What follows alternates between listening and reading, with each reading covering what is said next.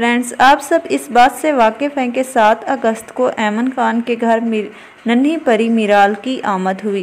Hospital से वापसी के लिए मुनीप भट्ट ने ऐमन खान और नन्ही परी मीराल के लिए पूरे घर को पिंक बलून से सजा दिया और बहुत ही शानदार तरीके से ऐमन खान और अपनी नन्ही मीराल का वेलकम किया।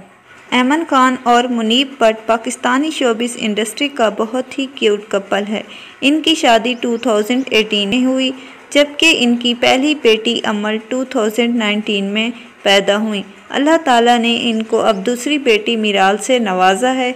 इस बेटी के वेलकम के लिए मिनाल खान, अमल खान और मुनीब भट्ट ने पहले ही प्लान किया था कि वो मिराल और ऐमन का बहुत ही शानदार तरीके से इस्तकबाल करेंगे।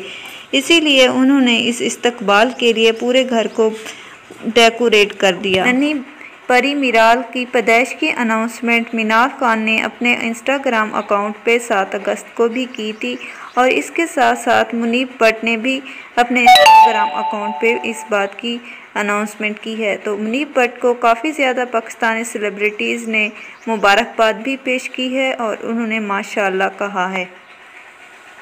नीली आँखों वाली शहजादी अमल भी अपनी छोटी सी गुड़िया को देखकर बहुत खुश हुई और बहुत ज़्यादा एक्साइटेड हैं।